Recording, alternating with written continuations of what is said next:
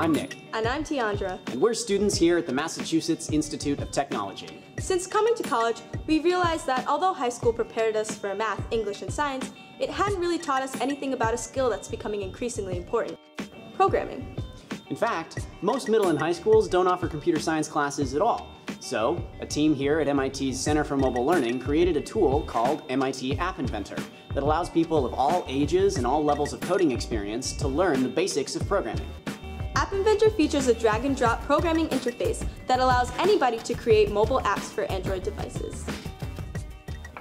Hi, I'm Shay Pokress, and I'm the Director of Education for MIT App Inventor.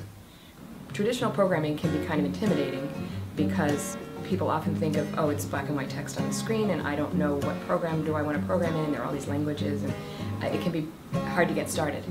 Um, but App Inventor lets you get right to the logic of programming. Go back into the ball blocks and drag out the call callball1.bounce block. Notice that this bounce block takes an edge as an argument. Where can we get that edge value, do you think? That's all. Test your app out again. Hey, look, the ball bounces off the edges now. Pretty cool, huh? You could probably also imagine a game of pool or a pong game. This is just the beginning. Challenge yourself and make this even more engaging and fun.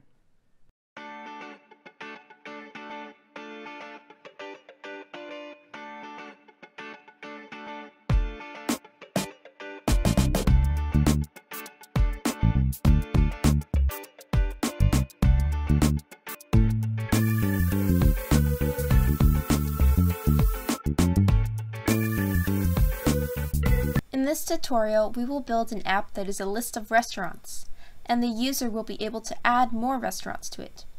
We will integrate a form into the spreadsheet to allow the user to add to the sheet through the app. Today we're going to be coding uh, the voice calculator. Uh, it is basically a conversational AI agent similar to Alexa and Siri. And what we're going to do is, first of all, we're going to demo the final product so you have a sense what it's going to look like. What is 73 times 5? The product is 365. What is 14 divided by 8? The quotient is 1.75. How are you today? I could not understand. Please ask me a multiplication or addition or subtraction. Voice calculator can understand basic mathematical operations like addition, subtraction, division, and multiplication.